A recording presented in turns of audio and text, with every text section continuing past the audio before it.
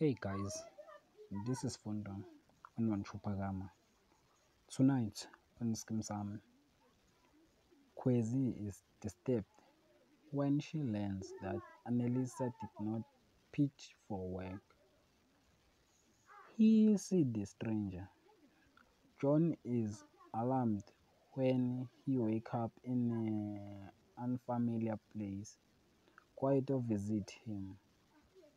Alfred gets a visitor from a police officer about the varsity tender. Alfred seems like he don't feel comfortable of arrival of policemen. Do you think Alfred tender is legal? Please leave your comment below. Don't forget to like and comment and subscribe. Therefore, thanks.